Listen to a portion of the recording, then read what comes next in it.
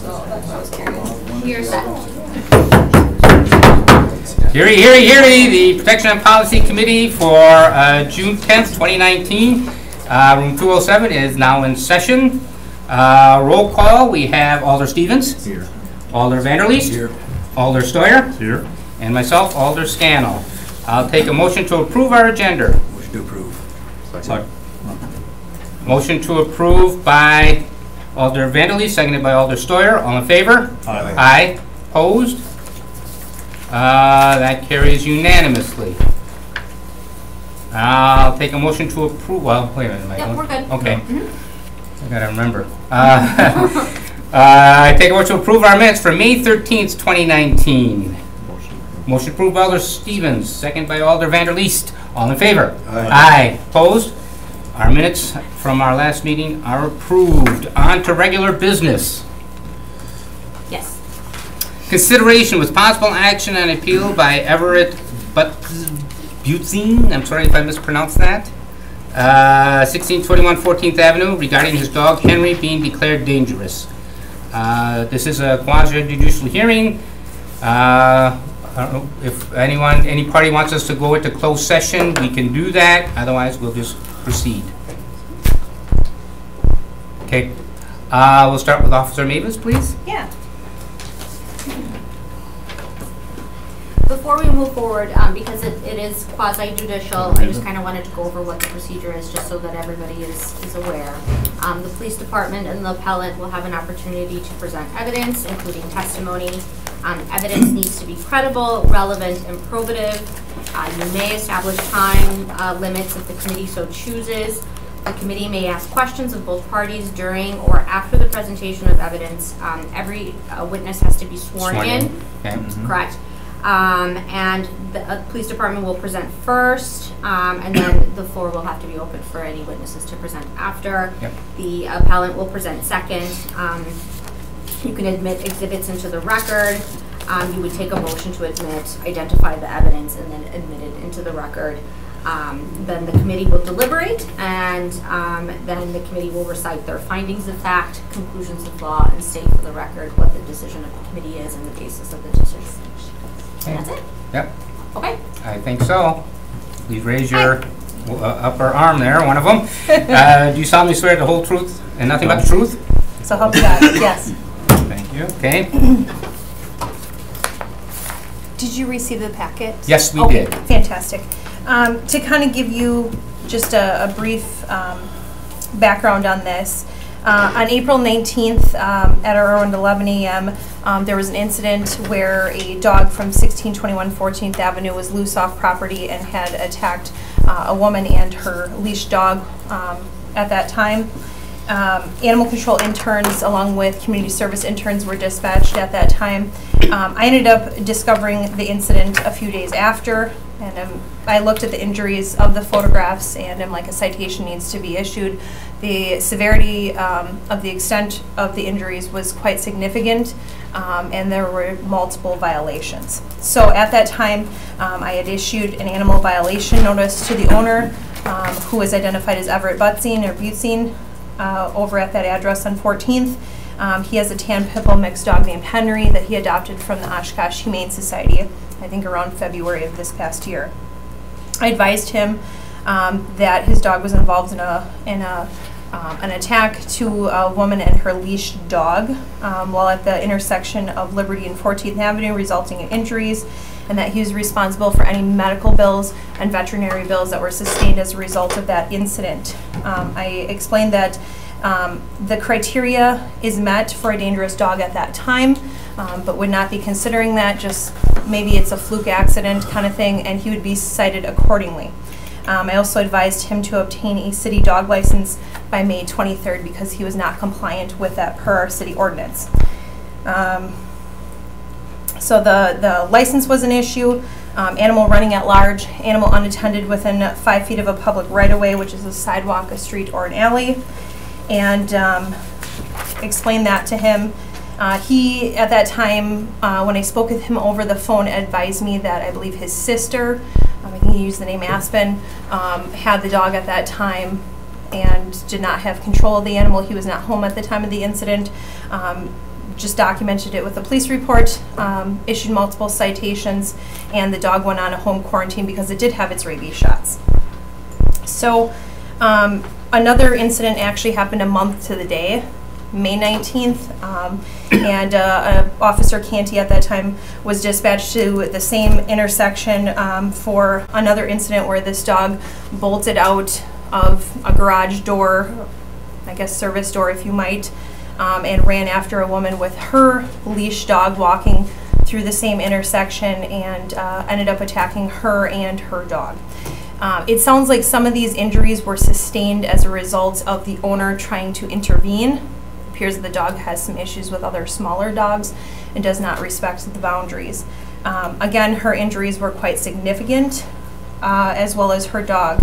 The first dog that was attacked was a Shih Tzu mixed dog, had a tooth having to be extracted, um, some punctures, um, and the second dog, I believe, was like a Basset, Basset mix. Um, also sustained some in injuries, uh, puncture wounds. Both dogs had to be treated at the uh, Green Bay Animal Referral Center. Um, both victims had to get medical treatment at a hospital. So, following that incident, um, the officer had actually ordered uh, a home quarantine, but according to our policy, any second and subsequent bites have to be quarantined in an isolation facility. So I did make contact with the dog owner, Everett, at that time and said, hey, the dog has to go to the Humane Society, who is our contracted um, holder at that time, to finish its quarantine from there. And then I did declare the dog dangerous based on the two different attacks that we've had while loose off property. Um, and Officer Canty at that time had issued Everett a citation for dangerous dog. Um, I believe last Monday was actually the court hearing for the citations issued in April, and he did not show up for court. Um, as of this time, um, to the best of my knowledge, no city license has been obtained. Um, I did inquire with the city clerk's office, I believe, on the 6th of June. I also inquired with both victims. Uh, neither victim has been reimbursed for their medical bills or their animals' veterinary bills that have accumulated. Um, I also reached out to the Oshkosh Humane Society to gather some information on the dog, and they advised that um, I spoke with one of the dog trainers. Her name was Carrie, I believe, Tetzloff. She said that she spent a year and a half working with the dog. The dog could not um, be respectful of other dogs' boundaries and had issues, and it was recommended that I go to a, you know, one dog only home. Um, and she said that based on her recommendations, given the history of this, um, that she recommended that the dog actually go back to their facility to be humanely euthanized. So that's that's her professional recommendation on that.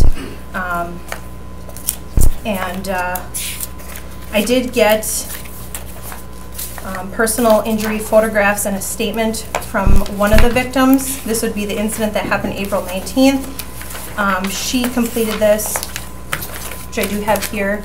Um, I'm not sure if any of the victims are present here today or not. Some, Was this, what is it? yes, I have it in color if you'd like to see that as well. It's color in the, Yeah, Yeah. so I see. They're pretty, they're pretty gruesome. Yeah. They're pretty gruesome. Um, and basically what this comes down to is that there's just lack of control. There's lack of control. Um, Everett did advise that he had the dog transferred down to Plymouth, Wisconsin for some aggression, dog aggression training. The dog's been through a year and a half of shelter training with one of their canine handlers. And I don't believe that the dog's going to benefit from any additional training. I do believe that these incidences could have been prevented if the dog was just simply under control. Okay. So, Any questions?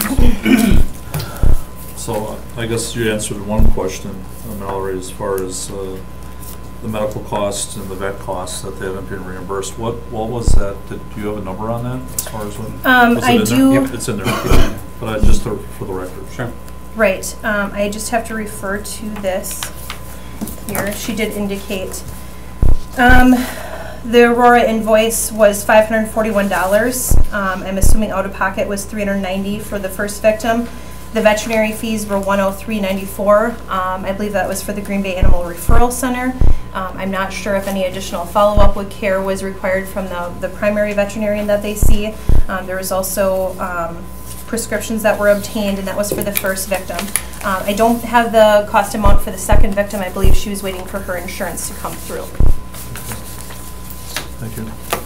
Thank For you. the uh, first victim, uh, we have no photos of the, what did you describe? The first victim, those are the photographs that Oh, you the have. the second one then? second one. The second one, um, there should be photographs in the case that were sent. She sustained injuries to her hand, Okay. and uh, she may be here today. I'm Ah, not sure. okay. All Susan? right, well, Oh, oh, okay. Okay. we'll get, Yep. Any other questions? not right now, Officer? Yep, Okay. yep, Bob? Okay, well, I'm sorry. Go thank you. Yep. Uh, It'd be now uh, the plaintiff turn to uh, respond? Correct. Mhm. And then there, there should be a motion to open the floor. I'll make a motion to open the floor. Motion on the floor by Alder Steuer, second by Alder Stevens, all in favor? Aye. Opposed? Okay, the floor is now open for, uh, is it Nancy Navrosky? Oh, uh, I'm sorry, no, we want, uh, is the, is the plaintiff here? Oh, plaintiff, plaintiff, right, yes, Not here. please. It's okay. The plaintiff is not here? That it- Okay. Hmm. No one's here for, well then, Move on. to the next. I, I think we could wrap this up pretty quick if, Um, at that point, I think I would, I would advise that we adjourn and hold this for another to have the plaintiff have an opportunity to come and renotice the situation. That is what we've done in the past. Um, okay. because this is, we want to ensure that due process is given to the property owner because we would be essentially taking property away.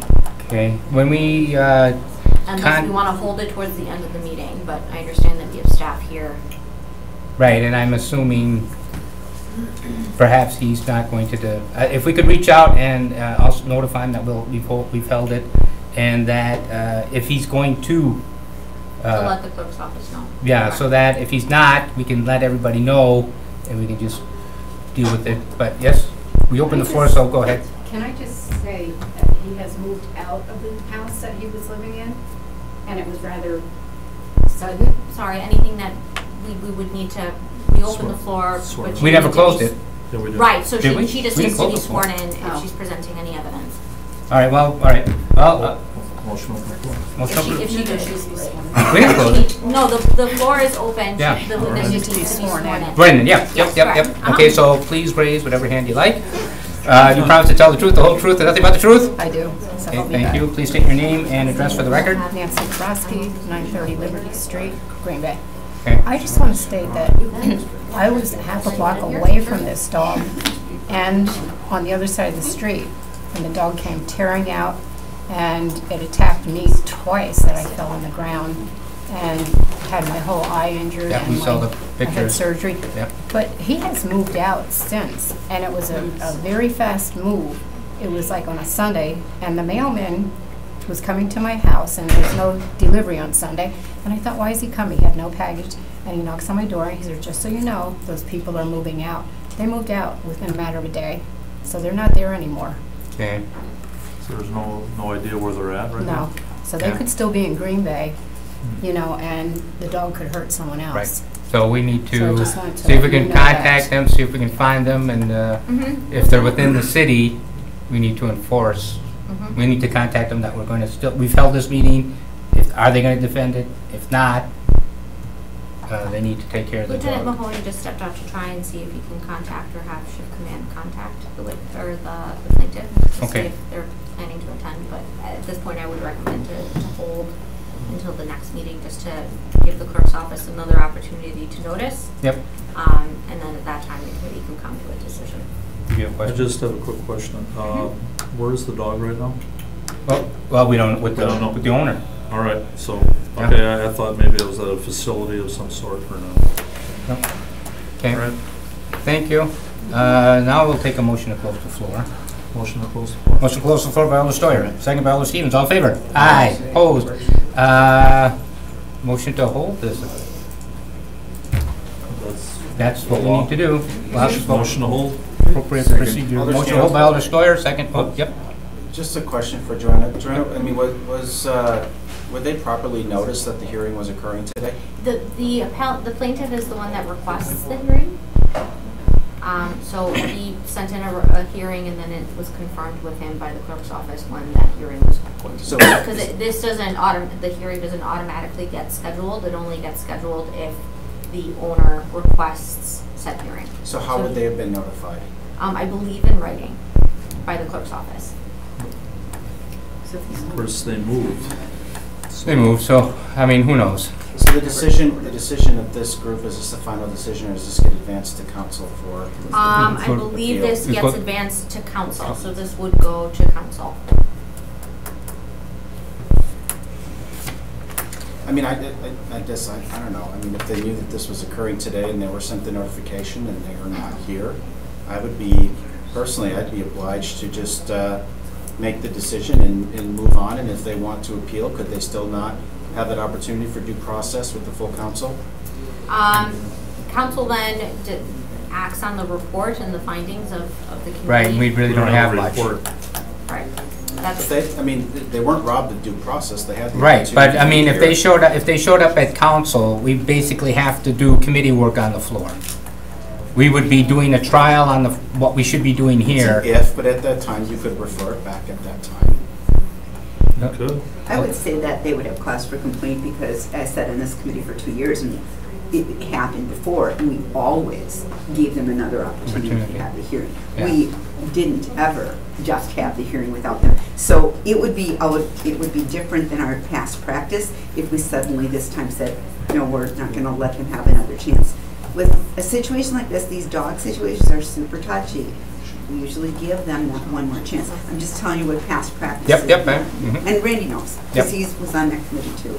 Yep. And I- And I get the past practice piece, but I guess, I- I I don't feel like due process has been, has been removed for the individual. Um, Unless Lieutenant Mahoney, perhaps, if, were you able to reach them on the phone? Nope. I left him a message to call or text me if he gets my voicemail message, Yeah, and I wasn't able to get a hold yeah, of him. yeah. Say something. He, he works for the. Uh, uh, we need, we would need to open the floor I again. need to, ca- I, I didn't catch the vote, I don't think we, we We didn't finished the vote. motion to close. Oh, uh, didn't we? I made a motion to close. the Didn't we vote on it? I don't think. We voted. think we voted. Well, that was- Okay. Yeah, we voted, in- but then I, Yeah, we we vote, we closed the floor, it was unanimous. Uh, it was, Right, I uh, didn't- motion by Alder Steuer, seconded Okay. by Alder Stevens, Sawyer, to close. Stevens. It was the same to open. reopen if you need. Oh, it was the motion to hold, I'm sorry, that I didn't catch. Okay, so if you wanted to reopen the floor, you could do that now. Motion open the floor? Motion open the floor by Alder Steuer, second by Alder Stevens, all in favor? Aye. Opposed? Okay, if you want to, please step up and give your name and address. And, but first, let's swear you in, whichever arm. Uh, you promise to, uh, tell the truth, the whole truth, and nothing but the truth? yes. Um, Susan McClure, I'm the second victim, I live at 878 Waverly. Um, I have a friend that works in this building, he also works in this building, the owner of the dog. He works for the builder, building commission, I believe she said. She was Oh. introduced to him a few weeks ago. He works for the city? We do not have a building commission.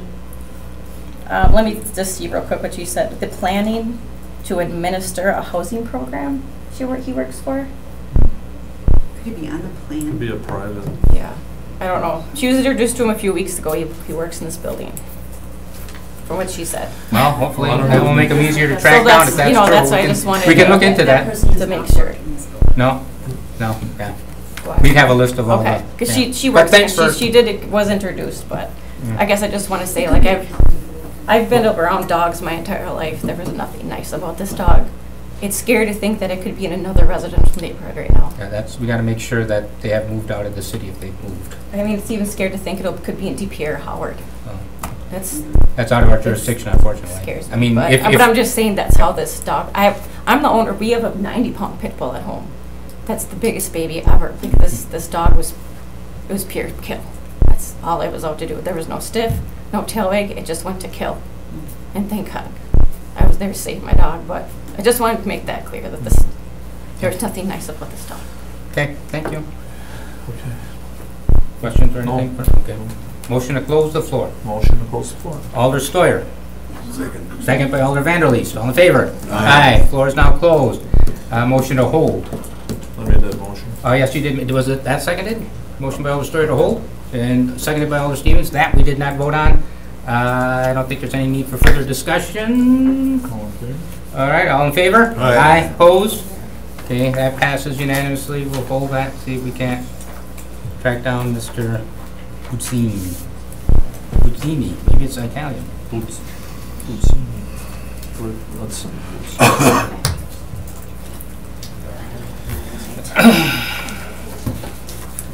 We're good to go. All right, uh, consideration with possible action on appeal by Eric Chang at 830 Howard Street regarding invoice 19001317. Uh, But first, we'll get staff's uh, input on this, and then I'll open the floor. Okay. Okay, yep. Staff? So, um, my, uh, we received communication from the attorney for the, so we're on number two, correct? Correct. Um, we received information from the attorney for, um, the appellant that he wished to have this item held until the next meeting because he had a conflict Oh, and wasn't able to attend tonight. we can do that. We can hold it. I'll Make Yep. that motion. to Hold- hold. Motion by Alder Steuer to hold. Second by Alder Stevens. We're gonna just hold the whole thing. Yeah. I'm all this stuff away here. Uh, motion by Alder Steuer to hold, second by Alder Stevens, all in favor? Aye. Opposed? Okay, that item is held. So, Um, So, um, you contact attorney for the, Should I want motion to open the floor? for the date. Uh, it'll go through, yep, you'll be contacted. Mm-hmm. Yep. It'll basically be one month from now. Okay, thank you. Yep. Uh, item number three. Consideration with possible action on request by tenant LLC at 2475 West Mason Street to amend their licensed premises to include an exterior patio terrace space and to allow a waiver in the requirement of the ordinance for fencing.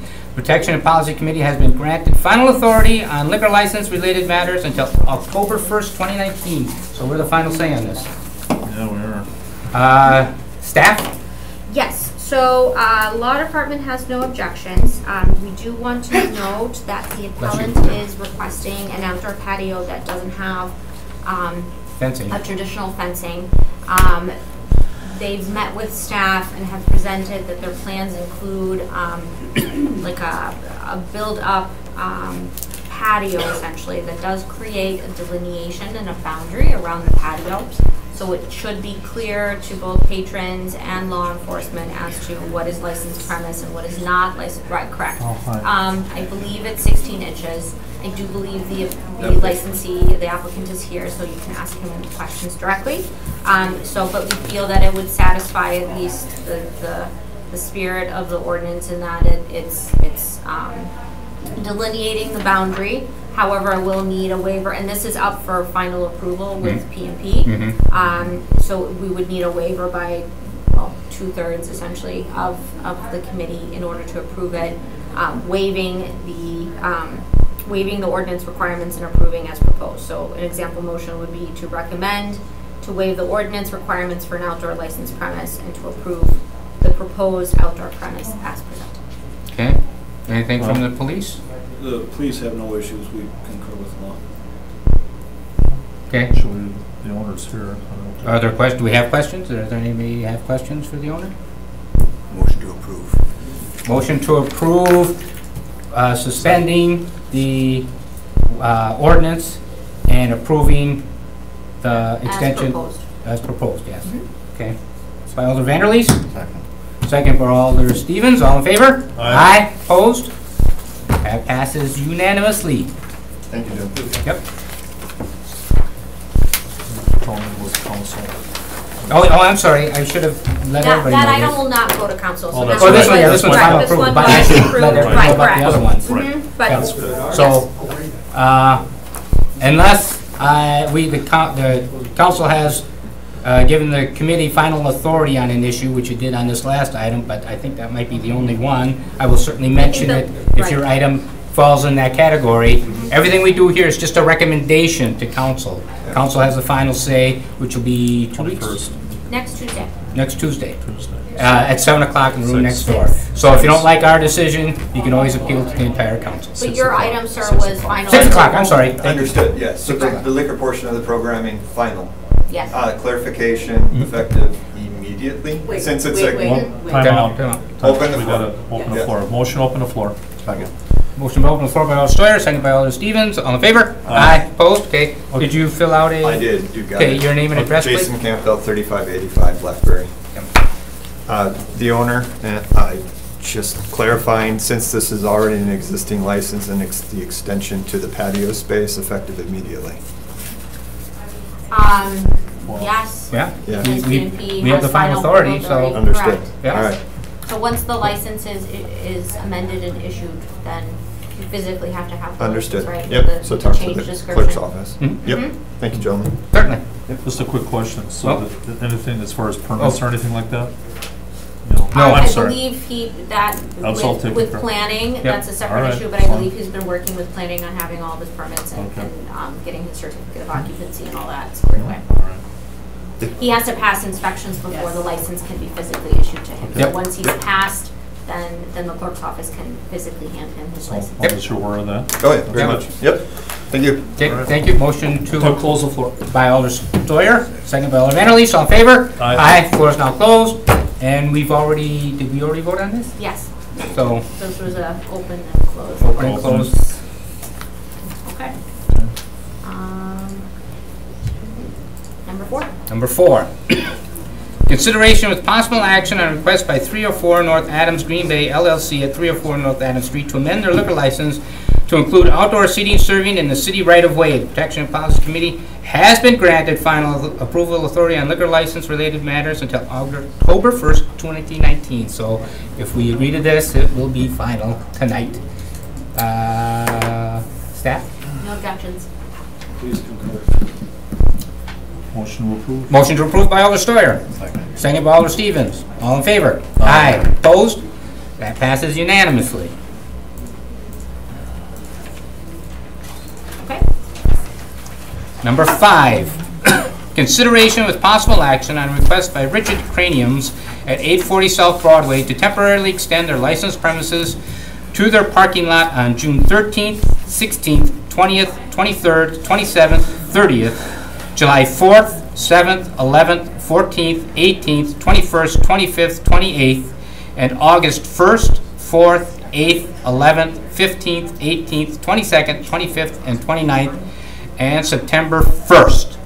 Uh, The Protection and Policy Committee has been granted final approval authority on liquor license-related matters on until October 1st, of 2019. So again, we have the final authority on this one, and staff? Uh, law department has no objections.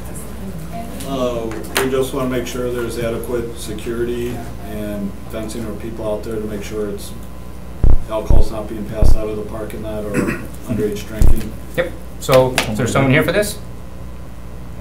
Anyone here for this No. item? And I thought there was, uh, one. I don't think there was anybody. No? You're pretty confident, obviously. Wow. I had some questions, but I don't know. It just seemed like, well, like granted that it's for a cornhole tournament, is that what it is, or area? That's what it looks like? Mhm. So it'd be outdoors. You've got a lot of dates outdoors, you know, and I'm just, any concerns by neighbors? I realize where the bar is, but, you know, anything at all where there might be some issue with noise or other things. I don't know. That's on I'm not Adams, sure right? where Richard Craniums is. No. Richard Craniums is South This is Broadway. Richard Craniums. Oh, so oh. if it- 840 South Broadway. Broadway, Broadway, yep, sorry.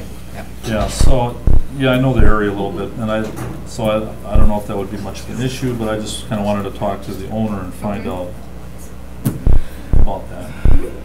And if you have no problem with it, police, I mean. We have no legal objection to it. Well, no. but the It's- police It's more, have- we usually defer to PD on that because of a community impact, um. Of course, they're look, this is kinda time sensitive, it's already June, what, I got It's the, and ninth. yeah, the thirteenth is Is the two, ni- two, three days from now. on Thursday. Thursday. There, there are a lot of events and we realize that, I guess there might be some inconvenience to neighbors if they do get noisy. I guess it's something that we would monitor and i- if they're out there and they are causing a disturbance, then we would act appropriate like we would any other time. Mhm. Right. I don't know, I just feel uncomfortable, I, I kinda, you know, I probably would have approved it if, if the owner was here. We can just talk about it, but I, you know, You could hold it, I mean, they'd lose out on a date or two, but there's a lot of them. well, I think it, it's just common sense or, or respect respect to come before the committee and ask that. That's all I'm asking. Yeah, yeah, that's, that's- that's So. I'll- if that's the case, what did, Well, we're having another meeting, uh, June twenty-fourth, so that's another opportunity potentially. So they're gonna miss a couple. Yeah, they'll miss a couple. Ask the committee what they think. I- Well, I'm, I'm a uh, little, motion to hold. Uh, and just tell, we could do it at our special meeting. Okay. if need be. Yeah. Yep, Okay. everyone knows about the special meeting. Special. Okay, motion to hold by Alder Stevens. Were they missing the dates? They're gonna miss a, uh, yeah, they'll miss They will like miss four of them one, at least. two, four. Huh? Is that too harsh? Well, the twenty-seventh, if we meet, if we meet on the twenty-fourth, they, they, they should be able to get the twenty-seventh. Mm-hmm. PMP does have final approval authority, so Yep. if you approve it on the twenty-fourth, then they would be able to hold their twenty-seventh. Yeah, so they'll miss four. But Randy, if there was a special meeting, let's say next week, if we got together, you know, I realize it's inconvenient, but is that something we could just do there? Just, We you know, if they got, we got a hold of them, you know, it's, we're reaching out to them, and technically they should be here, I feel. So, I don't know how you wanna deal with it. Well, we do have a special meeting on the twenty-fourth. If we wanna have another meeting before that time, uh, we don't know if they can make that or not. We could have, uh, we have to try and coordinate all that as well as our own schedule. I'm willing to reach out that way, I'd, I'd be willing to do that, so I don't know if, how the committee feels. Let me ask if, if they've had any problems in the past. No. Um, w- When they've asked for events out there, um, we haven't had any issues a- at all with pretty much anything. How many years have they been in operation, and do you roughly know how many years? That I really couldn't tell you. I'd have to go look it up. It's been a while. They've been before this committee a number of times to do special events. But Maybe they neglected, you know, being here, but if they got a good track record in the past, I'd be willing to give them a- an opportunity to keep their events going. Can I just ask quickly what the uh, other events were offhand? I, I'd have to read, there was, before I was really. Because this is another Yeah, type of police. event, and it's usually very crowded, it gets kind of noisy. See if I can find them. You know, I, I don't know if it was, Say it quick. A lot of dates. yeah, to me, it's. I think if we got, it's if a we lot. sent them a memo, you know, that, if this, if the legal staff would send them a memo and, and get back to what they're gonna have as far as security and things like that. Yeah. But if we've already approved it, Well, right, we, that's the thing. that's the thing. But I think you I feel more you do make a comfortable- valid point. though. I mean, they have had many events in the past, and they've never, there's never been an issue. Um, My only concern is the number of events there are, there's many. You know, a lot of times there's three or four events that uh, a bar will ask for. This is twenty or more. Why suggest we hold this till the twenty-fourth? Give them an opportunity. Can we hold it with the possibility that if, if they were willing to meet, that we'd reach out and let, you know, take a ten-minute meeting and, or whatever it would Alder take? Stevens says the twenty-fourth. You wanna wait till the twenty-fourth? I'd second that. Yes, Tab? Um, so just looking back, uh, to Richard Craning's events, um, so they've had, you know, two dates in July of last year, um, one date May of last year, um, they had another date, you know, in late August of last year. So they've had a number of events, um, but not so many strung together. in And I'm sure they do good, but there's twenty-six events here. And I, you know, Brian, that's in your district, so I don't know. Yeah, if, if, if I may, I mean, I mean, it's a good operation. Don, Don runs a nice facility over there, particularly when you think about some of the, I think the problems that you've historically seen over in that part of the district. And so, I mean, I have zero concerns um, about the operator himself. I guess if your concern is about the quantity, I mean, and, and and I apologize, I wasn't here to maybe hear the, the information beforehand. I was in the hallway about what all of the events are, or if there are concerns from staff. Nope. No, none, okay. I mean, I, I mean, if the concern is about the quantity and you want to have an opportunity to speak with Don, maybe what I would recommend is at least um, approve those events um, for what, if that's possible, to sort of split this up where we can approve the ones prior to the next meeting, so that way we don't interrupt his business operations, and then you can have that opportunity to discuss the balance uh, at the next meeting. I'd be open for that. Yeah, could we approve to the twenty-third? Of this month, Yeah. And then, and then hold the rest. Make sure that we have it stated for the record which ones are being approved and Yep. which ones are being held until the twenty-fourth. Okay. can I? So would that be a reasonable amend that compromise? motion? Yeah, I think that's perfectly fine. I'd amend the motion. Okay, thank you. to So the motion is to amend it that we approve June thirteenth, sixteenth, twentieth, and twenty-third, and we hold the remainder of the events until our special, uh, meeting on the twenty-fourth. Okay, uh, all this, uh, f- uh, so moved by Alder Steuer, seconded by Alder Stevens, all in favor? Aye. Opposed? Okay, that passes Good solution. unanimously. Usually Don's here. Yeah, Yeah, yeah. he's usually at these meetings. Oh, you know what? I think I got an email from him saying that, uh, he won't be able to make it. Okay, that could be. Well, this, That was a week ago or something though. well, we But, can, yeah, whatever. we can work it out. Have another chat with him. Yeah. All right. This has been a really interesting meeting. A little bit, a little bit of. Yeah. Uh, Item number six, consideration of possible action on a request by Green Bay Sports Service, Inc. at 1265 Lombardi Avenue to temporarily extend their licensed premises to the parking lot on September 14th, 2019 uh, for a one-day special event. And I take it since that's in September, we are not the final authority on this one. Uh, no, Right. there's no, October. So, yep, this, this will go to council. Uh, staff? um, law department has no objection.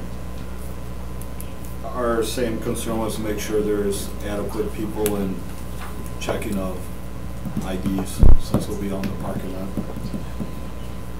But they had, they've had uh, other events though, haven't they? Yes, So have their track record's good. yes, uh, we don't have any concerns, we just pretty much wanted on the record that they're Mm-hmm. Go- gonna make sure that they'll properly check IDs, that they've been trained to do that. Well, can we, if we approve this, to make sure that they, they're aware of that? You know, I mean, it's gonna go to Right, but if we council. approve it, there's no, I mean, I'm, I'm not Well, just worried, the but committee, there's. with the committee, but I'm just saying if it goes to council, then if you have any questions at that time, then you could bring it up. Maybe? Right, because this will go to council. Council, We have- this will go to council. Is there anybody here? for? Nope. Yes. Oh, I'm sorry. I'm sorry, yeah, I didn't. I'm sorry, I missed. We, we, He's being so lenient motion to open the floor. Motion open the floor, Jay. Our fault. Yeah. My No problem, sorry. Motion on the floor by Alder Second. Steuer. Seconded by Alder Stevens. All in favor? Aye. Opposed? Okay, the floor is now open. Please state your name and address. Eric- you have, this isn't the. Oh, okay. so- You don't have to swear. No, no, that's fine. Eric Babcock, uh, Assistant General Manager for Green Bay Sports Service. Okay. And, uh, staff had Yeah, some. I'm assuming like in the past, everyone's trained. Yeah, absolutely. So everybody has to be ServSafe trained um, before they work uh, any event that we have in Lambeau Fiel- Field or out in the parking lot. So same, same thing. Thank you. Any other Uh, questions? No. Motion to close the floor. Thank you. Motion to close the floor by Alder Steuer, seconded by Alder Stevens. All in favor? Aye. Aye, opposed? Okay, gentlemen, what would you like to do? Motion approved by Alder Vanderleest, seconded by Alder Stevens. All in favor? Aye. Aye, opposed? Okay, this will go to council, but I'm sure by the 14th you'll be rocking and rolling. Thank you very much. Uh, item number seven? One second. Yep.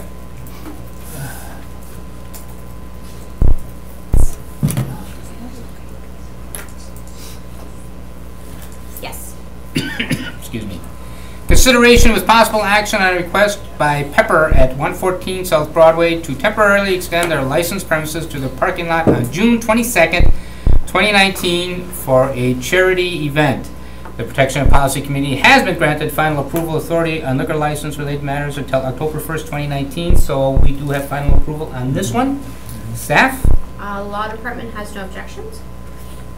Our same concern, just making sure that there's people are adequate security, so alcohol's not passed out. Is there anyone here for this item? Any concerns? We, Well, uh, it's- we've never had issues with um, them. But it'd be like anything else, the police are aware of it. I suppose somebody would be checking out there. Correct. Okay. Cool. Yeah. Motion to approve by Alder Vanderleest. Second. Second by Alder Stevens. All in favor? Aye. Opposed? That passes unanimously. Okay. Good. Number eight, consideration with possible action on a change of agent by Kwik Trip 115 at, Kwik Trip 115, okay, I get it now, at 515 West Walnut Street.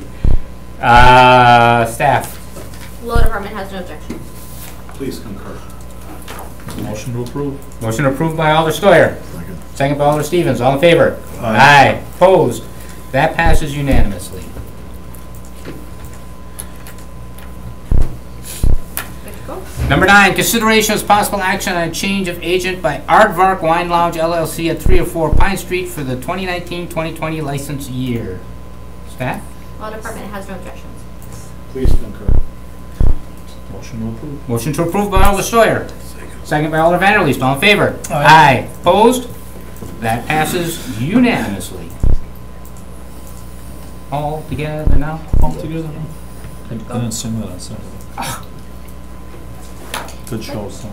Number 10, consideration with possible action, renewal application for a Class B combination license by Aardvark Wine Lounge LLC at 304 Pine Street for the 2019-2020 license year pending the approval of the change of agent at the June 18th Common Council meeting. Actually, Is this? we just did that, correct? Oh, no, Um, it's another. that was change of agent. Agent, okay, so that's that a final authority, okay, right. Right, right, there's a right. renewal Okay, application. so staff? A law department has no objection. Please concur. Motion to approve. Motion approved by Alder Stevens, seconded by Alder Steuer. All in favor? Aye. Opposed? That passes unanimously. Good to go. Number 11, consideration with possible action on the renewal applications for various liquor and/or beer licenses for the 2019-2020 license year. Staff? Um, law department has no objections. Please concur. That was a long no objection. Yeah, I was making The sure I was suspense. on the right, The on suspense. the right item in my notes, Yeah. yes. Uh, Motion approved by Alder Vanderleest, second by Alder Stevens. All in favor? Aye. Opposed? That passes unanimously. Go. Number 12, consideration of possible action on an appeal by Roberto Rebolledo regarding the denial of his operator license.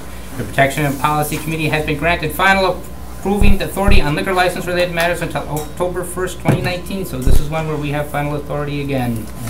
Uh, Staff? Uh, Law Department recommends denial on this appeal as the applicant is a convicted felon and habitual law offender for offenses that substantially relate to the license activity. And I believe you have the denial memo listing all of the applicable offenses. Yep. We concur with law. Okay. Right? I'll Uh, make a motion open the floor. There is someone here for this? Yep. I Believe believe. so, yep. Okay, motion open the floor by Alder Steuer. Second by Alder Stevens. All in favor? Aye. Aye. Opposed? Okay, the floor is now open. Please state your name and address. I'm Roberto Rebolledo, 1971 Manitowoc Road, Green Bay, apartment 24. Okay, um, what do you got to Um, say? I had contacted Green Bay Police Department in regards to supposed OWI felony arrest, and they told me that it was out of Shawano County. I then went to Shawano County to look at my criminal record from them, and I have a statement here stating that under their, I- I gave it to the clerk of office, I also have a I believe we have a copy of that in our. stating that I do not have any criminal record inside of their county or jurisdiction whatsoever. Um, And that I needed to come back to you guys, Green Bay's side, and say, where is this coming from? Because I am not a felon. I've never once been through any of the course of actions that normal felony OWI people would be required to go through, so I'm kind of wondering. I- I- I'm wondering too. I'm hoping. Where, where and what, what is going on with it? That's, Okay, I mean, I, I brought my US passport and uh, federally issued ID to Shawano County to verify my identity and who I am, and and they wrote a letter. And they, yep, like I said, it's, is that on here? Yep. 'Cause I was looking. To whom it may concern, upon the request of the above named Roberto Robledo. close enough, yeah, I'm, Yeah. I've heard it, it's not done right my entire life. I have completed a re- record search for the Shawano County Circuit Court and do not find any criminal court record charges for that individual. I have verified his identity through both driver's license and U.S. passport. Our records have been computerized since 1993, so any court proceedings, the, all these listed are much later, Uh, Whether criminal or civil would be able to be located through a simple name search. Anything prior to that date would require reviewing a court paper index. Any further questions, feel free to contact me at the above number. Uh, Yours truly, Susan M. Kruger, Shawano County Clerk of Court. So where did we get all this? Well, For that's, roof. It, it, uh, you got Shawano Municipal Search, Court. CCAP, and birthday, and the applicant's name listed in the applicant. That was what was searched by PD in their background. I've check. got full record on my CCAP search right here, if you guys like to go over that. okay, yeah, because there does, there is Brown County There's also listed in the, Green Bay the Municipal criminal Court. background, the It's CIB, not just Shawano. which, which is I've, I've got it all. I've Oh, got- okay. I've got Green Bay's and I've got Brown County, I've got Shawano counties. Okay, Okay, I can pull up. So, so it's, it's Uh, just, My CCAP of myself shows five different charges, mostly just two things of paternity. Um, A charge dating back all the way to when I was late years of high school, seventeen years old. Um, A small claim to Kelly Bigelow and an OR OAR, so it's simple driving citation. That's all I found under CCAP with my name. And then, as far as Green Bay goes, in the last eight years itself, I haven't had anything more than just uh, simple driving offenses. And even in those, three of those subsequent driving offenses, there was no other additional concerns in regards to like anything else that they had denied me for in the potential license itself. So like I said, I'm still just wondering where this felony conviction is. If you guys got well, citation that's, number. the felony says it comes from Shawano, but Shawano, you, you've go- done the work and. And that's uh, like I said, just as long as I can see a citation number, statements made by police officers, anything, so that way if, if there's something I need to do to go correct the situation, I could also take that, you know, even if it's past this point here, just for, you know, my life in general. Right. That's the only Worse. felony, felony So- listed, is the one in Shawano, everything Have else it right is here. misdemeanors, so uh, we would not, we would not hold up this license So that. in the criminal background report that PD ran in two thousand five, we have an arrest, the Shawano Police Department for an OWI. Um, court, the charging court was Shawano Municipal Court, OWI, charge severity, felony, convicted. Hmm. Disposition date, November tenth, two thousand five. And I have it for Roberto Robledo, date of birth, four eighteen nineteen eighty-five. Eleven forty-six Admiral. Is there a possibility that, uh, you know, you go, you go to that site and you can see things, but, you know, if things are updated? This isn't a website, this is the, like a criminal background criminal report that's background run by PD, so this isn't available to the Public, okay. And, and sometimes things that are on the CIB don't necessarily show up in CCAP. Oh, okay. Have you, go ahead. if I may, uh, have you been bartending for, Um, I have, recently I've been bartending, and then prior to, I spent a little bit of time over at Bourbon Street um, Pub and Grill serving um, for two years there. And then not only that, during that time and for the last nine years, I've been working in pub and grills, mostly managing kitchens. Um, so in the environment, I'm well aware of you know what goes on, things like that. Um, I've also had um, ServSafe certifications with inside of the kitchen, and also passed the bartending courses too yet. Uh, usually make my way into management just through hard work and You have- doing what I gotta do. I was just gonna ask her, do you have any letters from anybody? Any bosses or people that? I do not. Um, being that I am currently working at two different bars, I didn't want to bring up concern with bar owners that I may not be an employee for them. Um, you know, obviously, as I'm still trying to obtain the license, so. Right. Um, That's all I have right now. any other questions? So basically, the last few years, you haven't had any problems. Over eight years, I've only had driver citations. Yeah. Can our attorney verify that? Is that true, ma'am? Well, Yeah, it, it appears the last violation was in two thousand seven. Which is a while. Yes.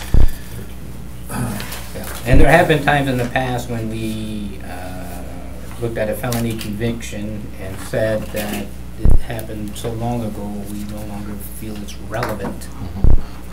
I'd still just like to see it because Right. I, I, I can't recall, I mean, normally on an OWI, don't you have to do an AOD assessment, interlock device, any of that? That was never forced upon me, you know, you know, nothing, so. So you're not, you don't remember I, this I, event? I don't, I don't, I never had one.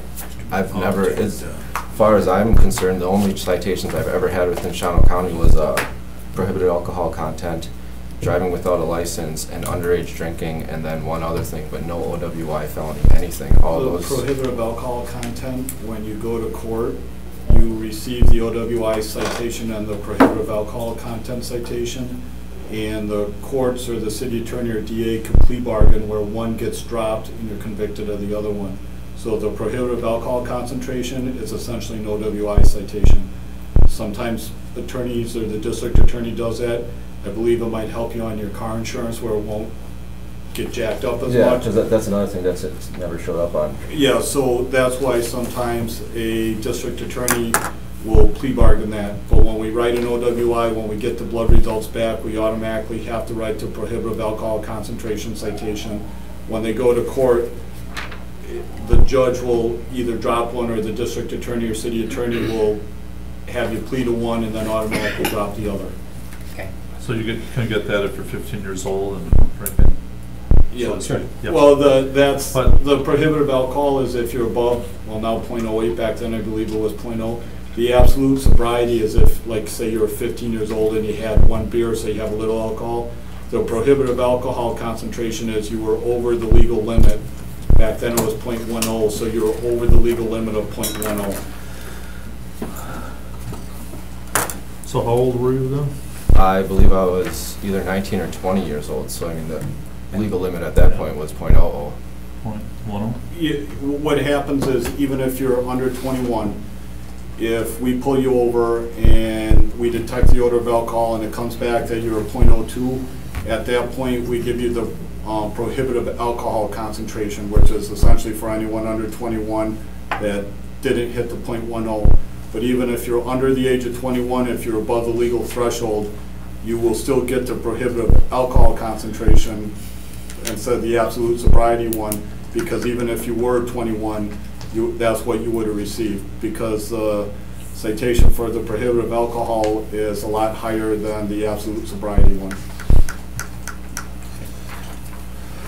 Any other Well- questions for? No, I, I'm, actually, I'm loving the information as well because nobody else has given me Right, anything like and- that, so. Uh, uh, any- I have nothing more. Uh, Anything else you care to say? Um, not really. I just really think um, showing that for the most part my criminal history was in an eight-year period when I was relatively young and actually had come out of jail off of probation and stuff. And at the same time, that might have almost been like a criminal education course. But yet after that, making very many mistakes and having a family now, two kids, that after the subsequent eight years has shown that I am, you know, really ready to be a normal citizen, father of my children, and hopefully a business owner someday too at the same time. Thank you. Thank you. Motion to close the floor. Motion to close the floor by Alder Steuer. Second by Alder Stevens. I feel, I feel good about this. I feel that we can move forward. Well, we got, we What? just closed it. We just closed. I thought we did. Oh, we didn't, oh, all in favor? Aye. Aye, thank you. Boy. Yeah, uh, all against, okay. I, uh, I'm, I'm, So the I'm floor's willing to closed. approve. Motion to approve by Alder Steuer. Second. Second by Alder Stevens. Yeah, I think even if there weren't any confusion on this, it still happened quite a while ago that I don't think it's relative anymore, so. Uh, all in favor? Aye. Opposed? Passes unanimously. Thank you. Good luck. How do I go about it? It's still state council. No, this is us. Oh, that's, that's final. We're final, right? I believe so. Uh, Yes, that's We're final final? approval. Yep. Already. All right. Yep, Cool. Next one as well. All right. Man, we're getting pound for it. Next one, close. Yep, yep, we're probably going to close that. Okay, I'll read it out. Um, Well, wait till she's. yep. Okay. Number 13, consideration with possible action on appeal by Elizabeth Perrine regarding the denial of her operator license. The Protection and Policy Committee has been granted final approval authority on liquor licenses related matters until October 1st, 2019. Uh, I believe, uh, I would like to close the, Mhm. uh, go into closed session. Uh, For all licensing issues, the committee may potentially convene in closed session pursuant to 19.85 subsection L, is that I? B, subsection B, and/or uh, chapter 19.85 subsection L, uh, subsection F, Wisconsin statutes, for the purpose of considering information with respect to licensing for a person. The applicant has the right to demand that the meeting be held in open session. The applicant may also request that the meeting be held in closed session, which is what has just happened. The committee may thereafter reconvene in open session pursuant to 19.85 subsection 2 Wisconsin statutes, report any actions taken during the closed session, and to consider all other matters on the agenda. Uh, You made the motion, you made the motion. motion, Motion to go into closed session. uh, motion by Alder Steuer to go in closed session, second by Alder Stevens, all in favor? Aye. Opposed? Okay, we now in closed session, so anyone who does not have, um, involved with this should leave the room, please, for this item. Everyone's here for this item?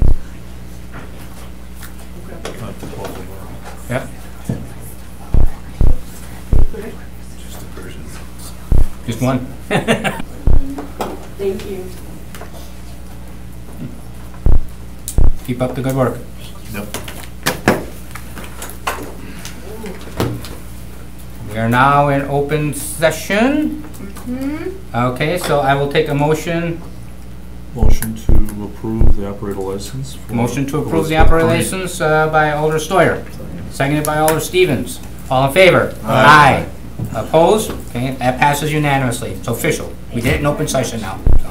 And this, this doesn't go to council. Nope, just go to court council, we have the final authority, so. Good luck. Work hard. Thank you. Yep. What's the establishment? Can I ask again where you're at? Where are you at? You're, The work, the business? Dad's business? Wine and Spirits. what's it called? Dad's Wine and Spirits on University. On University, University. okay, thank you. Come on in, okay, I'll. No, no, no special, we can't, uh, Yeah, yeah, yeah, thanks yeah. anyhow. Thank you so much, I greatly All right. appreciate it, thank you. Yep, Thank you. yeah. On the record, right? Yeah, you're on the record. We can't take. No, you're on the record, you're good. Yeah, we're good. Okay. Okay, item 14, Yes. consideration was possible action by Alder Wery which states to request a report of police call volume on Western Avenue from Oneida to Taylor. What addresses our habitual problems, have nuisance plans and bills for service been issued? Develop a plan moving forward to reduce the number of police calls to this area, previously held at the May 13th Protection and Policy Meeting. Staff. Um, our crime analyst, Michelle Belangi, prepared a report, I believe it's in your packet. Um, it shows she went from January first, two thousand eighteen to just about a week ago, June fifth of two thousand nineteen. Um, she prepared the report on Alder Wery's guidelines. Um, as you can see, we do have one chronic nuisance address. We have not billed as of yet. Um, We're working with the community police officer in that district. Um, Due to retirements, we are only down to one officer and staffing levels, one community police officer out in that district. Um, He is working with the owner to address the problems. Um, You see some of the high-volume calls and parcels for service, that some of them seem excessive. Um, Not all of them result in a qualifying call. If there was a rescue squad call there, or if there was, you know, a a runaway or found property in our system, that shows up as a call, but it doesn't necessarily mean it's a qualifying call. Um, If you like, I could explain what constitutes a qualifying call, that they would become a nuisance property. Um, We are, as community police, very proactive with our um, rental owners, the landlords, the property owners, um, to work with them to solve the problems. So I don't want it to seem that the, because I even asked the um, Charles and Marilyn Perry, they pop up four times on there. It doesn't necessarily mean that they're not working with us. They hire a property manager that is working with us, that some of these calls can be where the tenant's actually calling or someone from the property is actually calling when there's an issue, which is what we want instead of not calling us and um, not working to solve the issue with us. I have a quick question. Yes. Lieutenant, I was just, okay, so you have hundred fifty-four calls. Are you looking at number one? Correct. Fourteen twenty-one to fourteen thirty-five Western Avenue? Yes. And you said a a lot of them are, you know, what have you, as you just described, but out of the hundred fifty-four, is there a way to tell us how many are truly relevant to? We, to the calls? we would have to go. You'd have to go through it all. We'd have to go through because that property is technically fourteen twenty-one through fourteen thirty-five, and those are apartments, so each apart, each building could have, say, eight apartments in it, so we would have to go through each and every call to say, okay, this one was a qualifier, this one was a disturbance, or something that's considered more criminal in nature, as opposed to, say, a a nine-one-one hang-up or Right. Uh, a medical call. You think Alder Wery was kind of looking for that, though? I thought maybe he, he wanted a little more definitive. I know he just kind of stated, He, uh, He gave broad, it was too, br- kind of broad statement. kind of broad, so um, we, we can dig through all that data if you would like. I, I do know habitually, coming off night shift, Western Avenue, we, we do know was, when I worked nights, a time that we were there more frequent. Um, We are trying to work with the property owners, um, counseling them, educating them, helping them s- um, screen their tenants. Um, So we, we could work with them um, to get good tenants in their properties. Okay, that's all I have for now. Question for staff? no. Okay, well, yeah, I can open the floor. If there's, Joe, thought, any questions more for staff, then we'll open the floor. Motion open the floor. Motion to open the floor by Alder Steuer. Second by Alder Vanderleest. All in favor? Aye. Opposed? Floor is now open. Please state your name and address for the record. Uh, Janet Angus, 1403 Shirley Street in Green Bay.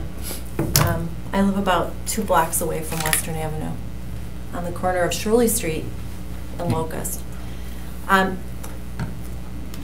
My neighbors and I, my neighbors are not here today, Alderman Vanderleest was kind enough to come to a meeting uh, with the police department with my a few of my neighbors and myself, about, I don't know, maybe two or three weeks ago, because we have concerns.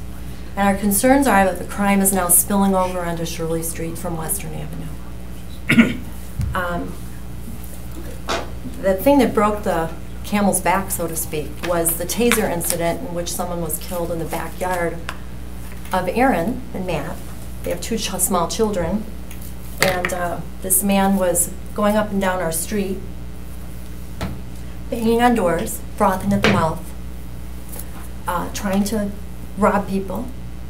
He um, ended up in front of uh, Scott Wagner's home with a grill top in one hand, pounding on a door, trying to break through their window. And that's what would, you were listening to them tell the story, that's what you would hear. He then ended up going across the street into Matt and Aaron's backyard, where he was tasered a number of times, climbed up on the roof, must have been high on drugs, and I don't know what the final report says, I haven't had access to that. He was tasered, he ended up dead in the backyard of Erin. And Erin, I babysat when she was a little girl, I was probably 12. These are long-term neighbors we have on our street. We've had police officers running up and down the street in the last couple of years chasing people who are armed robbers with backpacks. We've had armed robbers found underneath canoes in people's backyards by dogs, sniff the dogs that, that go off and sniff and try to find. We've had um, Pyro the dog was stabbed on the corner of Locust and Western, two blocks from my house. We had um, drug deals in Colburn Park happen. We were talking about putting a gate up to stop, you know, to stop cars from going down into there in the evenings. But two weeks ago, I think it was on May 22nd, a girl was found with a heroin needle in her arm, passed out. The police were called. She recovered. She left. the, the scene. I guess, I don't know if she was ticketed or what happened to her, but she left. And here there were young children. It was 8 o'clock at night, and there were kids at the pool. People watching her, taking a hit in the park. So what happened to her? Did she get a ticket? If she'd have been drinking alcohol, I'm sure she would have gotten some kind of a municipal ordinance violation having open beer or something in the park. I don't know if she was ticketed, I don't know what happened. But I know I have a lot of questions. And I know that I don't like what's going on in my neighborhood. And if I don't come here and tell you people about it, and work with Alderman Vanderleest, thank goodness for Alderman Vanderleest, nothing is going to change. Now, I did a Freedom of Information request. And I stood in front of the, the um, redevelopment authority and said I was happy NeighborWorks was taking over the Admiral Court apartment buildings because there's a lot of crime. The armadillo was there all the time, parked on Admiral Court. A few years ago, I had a lady who came in my office and she'd been beaten on Admiral Court. beaten. Right next to Mason Manor. That's why I got involved in politics in 2014 because of a crime in my neighborhood. I don't know if you guys realize that or not. But that's why I put my foot down. I came and I talked to Jim Schmidt about it, told him we needed to spend some more money on, on uh, redevelopment areas outside of the downtown. And he put on his coat and walked out of his office. It was very disrespectful to me. And I think you people know the rest of the story of what happened to Jim Schmidt. He should have worked with our neighborhood a little bit more. It was disgusting. There was a meth lab over there, and someone died from an overdose in the Admiral Court apartment buildings. This was in 2014. And this is when I got involved. I decided if I was going to complain, I should be involved and do my due diligence rather than just complain and do nothing. And I think, as you're all well aware, I own a lot of property over in that neighborhood. And I don't think it's safe anymore. So I did a Freedom of Information request. And it resulted in 282 calls being made to the Admiral Court apartment buildings. These included calls for drugs, weapons, disturbances, welfare checks, thefts, truancy, missing persons, juveniles, crime prevention, burglary, violation of court orders, harassment, and sex offenses. And that's what I found when I went through all of them. And it's the only way to get the information. You have to go through each individual reason for why they are going to the location. I can't get information any other way than that. And doing Freedom of Information requests, as you're probably well aware, are very time consuming and expensive. I get charged by the page, and I have to go back time and time again to get the information. Which is why I think it's imperative on this committee to do a study to find out, you know, rather than just saying, well, the data doesn't support it. The data doesn't support it. You know, a lot of these calls are just for, um, you know, welfare checks, or there's a little bit of a little disturbance, or what. How do I know that? When I went through it, I found, as I said, weapons disturbances, thefts, truancy. We had a rash of, uh, we had a rash, rash of car thefts on Shirley Street last summer. Our cars were all broken into. So the Armadillo's parked over at the Admiral Court apartment buildings, was parked down on Meacham Street because there were a lot of crime thefts over on Meacham. And that's a spillover also from that, what, I, I talked to the neighbors. They think it's a spillover from Western Avenue. So, my question is, a couple of things. When are we going to have some accountability with our ordinance for nuisance homes, nuisance properties? there were 19, 2018, 19 citations were issued and only six bills of service. And in 2017, there were 15 citations issued and four bills of service. So in 2018, with almost 300 calls to the Admiral Court apartment buildings, no one was held accountable. Now, Neighbors Works, I think, is cleaning it up, which is a wonderful thing. I think. We'll see what happens. But some, if this happens in neighborhoods, it's terrible. Your property values go down. People are afraid to go out at night. I was talking to a girl. I mean, I won't go into all of it, but, but people are afraid. It's gotten to be a very violent neighborhood. and I think, I think we need to look at it. I think we need our 14 police officers put back on. I think that Admiral Court, NeighborWorks, I think they're here, they were so kind to offer to have a, um, an apartment to be used as a neighborhood policing officer, office place. We don't have the staff to staff it. And they'll say, oh, crime's going down. But I don't believe it. I think the definition of what, I, I don't know the difference, you know, but when I talk to them, I get a bunch of gobbledygook. And when the definition of the crime changes, assault, battery, oh, and remember, none of the drug violation crimes are, in, are, are combined into that information that's sent to the state. And if you look at our drug, our drug crimes, I think they have over doubled in the last year. I could be wrong, but I, I don't think I am. I have the numbers. If you want me to look for them, I will. But um, numbers are up. Um, I know that we're told the numbers are down, but when you see the police officers chasing people up and down the back streets of your neighborhood, um, I just don't think it's uh, a good thing. If I can ask Janet, thank you for coming in. I, uh, you know, we're looking at Western Avenue from Oneida to Taylor, and you're just saying because of what you feel that's happening on Western, that it's spilling over into your neighborhood. Western Admiral Court, um, I think, what is it, Leo Street? That, that whole, there's a lot of apartment buildings in that area. Look at what Ashwaubenon had to do with their problem. They tore the buildings down, rebuilt them. I mean, if, if landlords aren't gonna take care of their buildings and aren't gonna run to people that aren't gonna cause, I mean, it's- it's not good for the community. Well, I get, well, I- I'll have to talk to the tenant about that. Um, just to make the committee aware, We need to We have that open. we have to have it We have to open. have it open, we have to have it open. Just tell them to keep it down. um, our, our crime analyst did prepare a report for Miss Angus, and we have a meeting scheduled for Wednesday that does include the Colburn Park area that is her concern. Mm-hmm. That's why some of these numbers might be different. They somewhat mirror each other, but since the agenda with Alder Wery was asking for this data, that's why we compiled that for the committee. And that's why Admiral Court's not included in this, or of course Colburn Park, that's not included in this, uh, because we went by what the request was.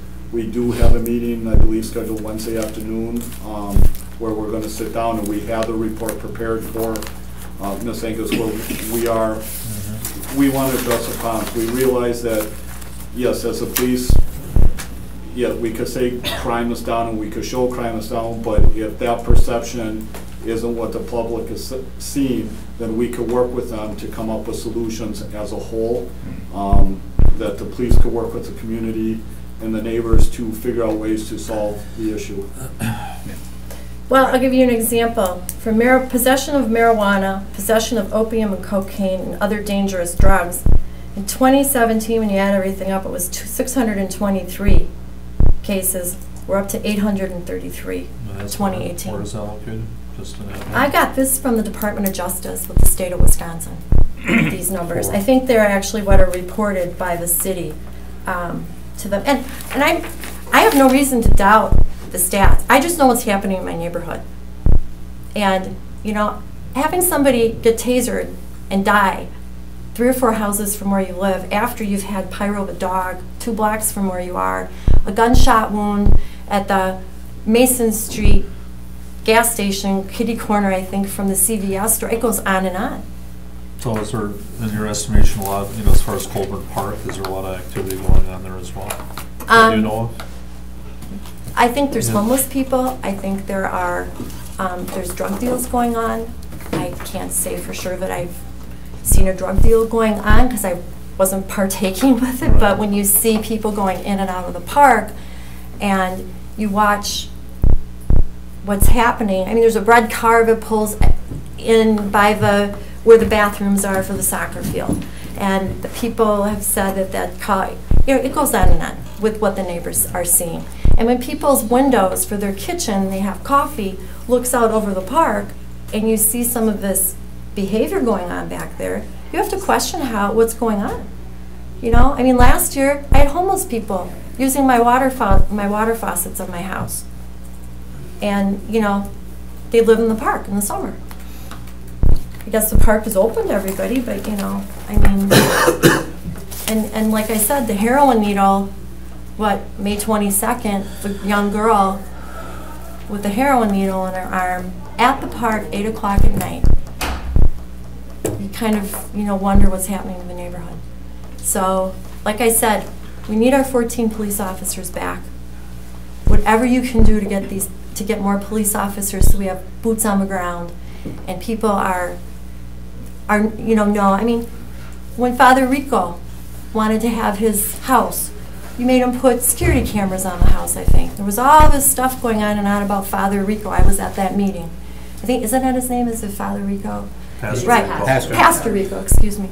But, you know, maybe that's what we need to do with Mason Manor. It's a city-owned facility. They have to have security cameras on there. You know, what's going on with the security cameras in Admiral Court? Why do we have so much crime in Admiral Court apartment buildings? I mean, NeighborWorks hasn't had a, a shot at it yet, I will say that much, but this has been going on to the point where I noticed it since 2013. And thank goodness, NeighborWorks bought it and is attempting to change that in our neighborhood, and I hope it works. But if it doesn't, you know, what, and then what are we gonna do with all the other properties on Western Avenue? I mean, you saw the numbers. I find it very hard, and, and you know, there's 453 calls going to the Perry's property when I added them up. That's a lot of police force being used up to, to go and make calls, whatever they're, whatever the calls are for. That's a lot of money and a lot of time spent by our officers going to do welfare checks. I mean, I, I just find it hard to believe. People listen to the scanners and it's either, what is it, Imperial Lane on the east side and mm-hmm. Western and Admiral Court on the west side. So, you're the Protection and Welfare Committee. Protect us. Do something with our police officers. Put more money into it. Get boots on the ground. I want to live in a safe, nice area. Good schools, safety, nice place to live. That's what Green Bay, Wisconsin is about. That's the Green Bay, Wisconsin I've known for 59 years. I've lived in that house since I was seven years old. We never had this kind of crime before. And it's getting worse.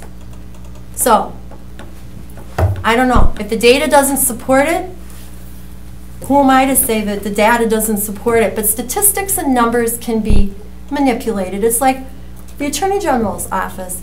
You know, we don't report our heroin and our marijuana possession and our drug possessions, I don't believe, to the state. Those numbers don't go into it.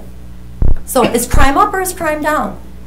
Crime went up as far as drug possessions went in Green Bay last year. And what are we doing about it? What are we doing about it as a community? A little girl, I mean, little, she was in her 20s, I believe, had her heroin needle in her arm in Colburn Park.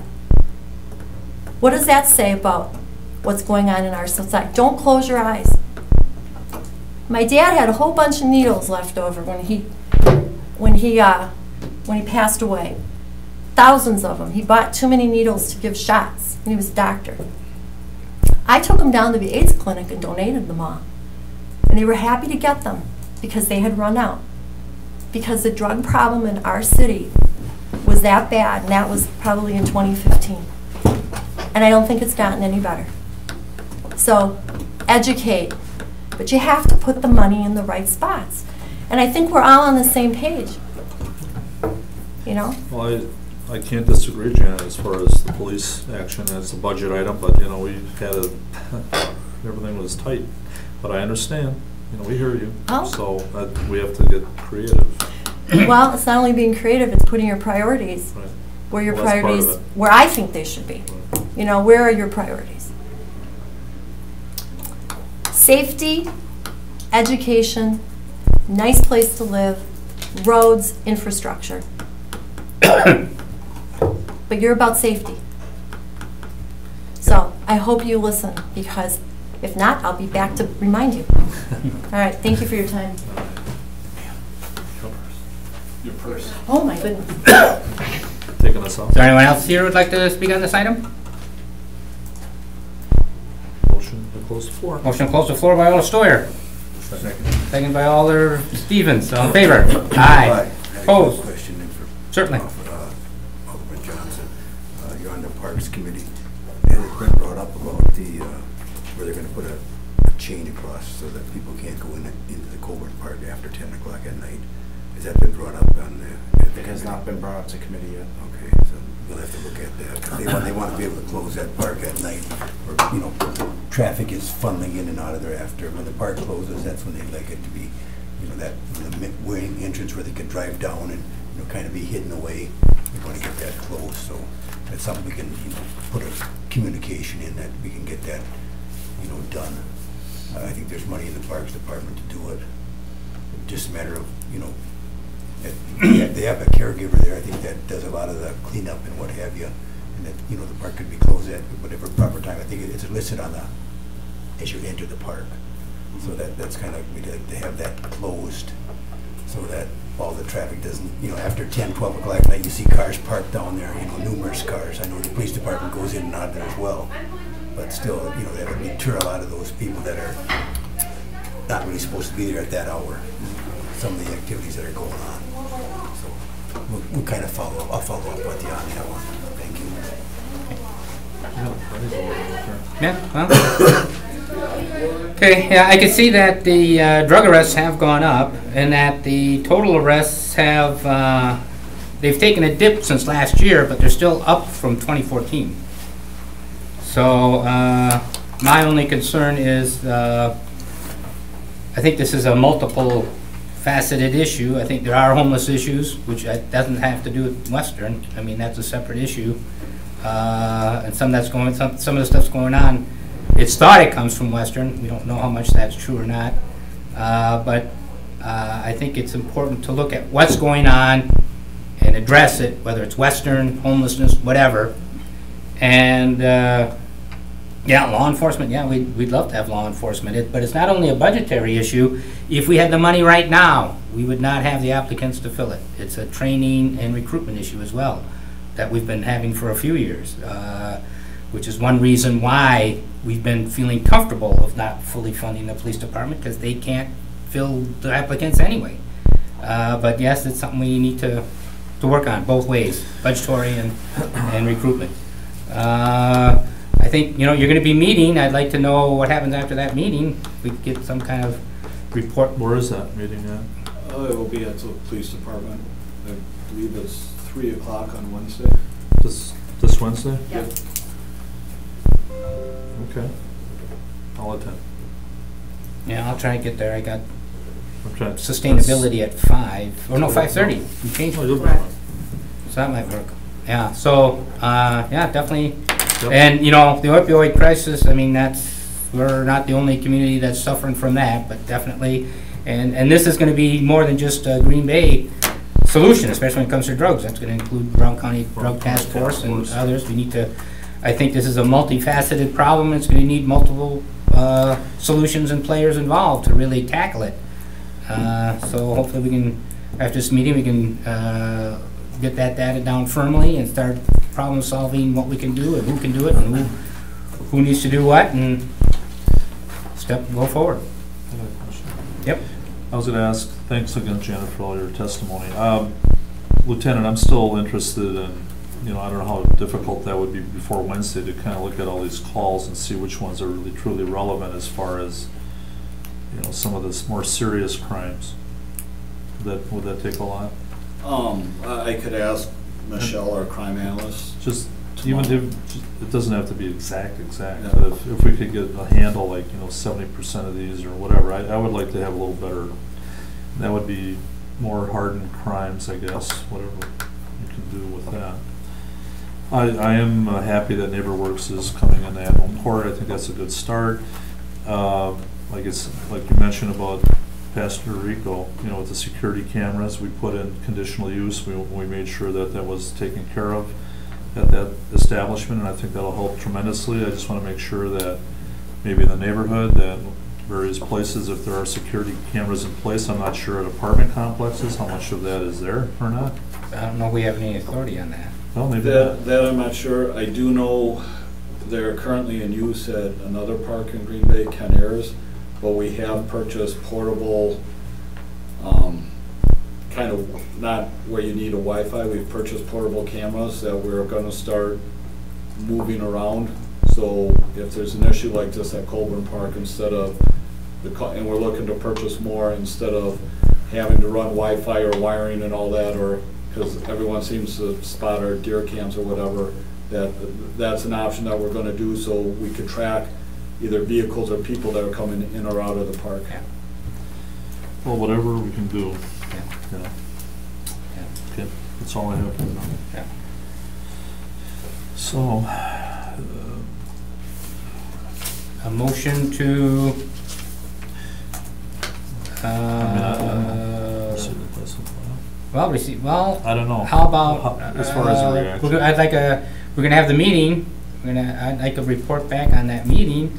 Um, So can we Hold- hold, hold- hold hold- this hold for our next after that. meeting? Yeah, I would, I For- would make a And get further reports? For more. Well, Would you like, uh, to let the committee know, I won't be here on the twenty-fourth, another community police officer will step in. Well, So- I, I, I would This would be think, not the the July- twenty-fourth, not, not the the- special, right. our regular held July meeting, meeting. next month. So motion to hold and further report from, from the From police police. department.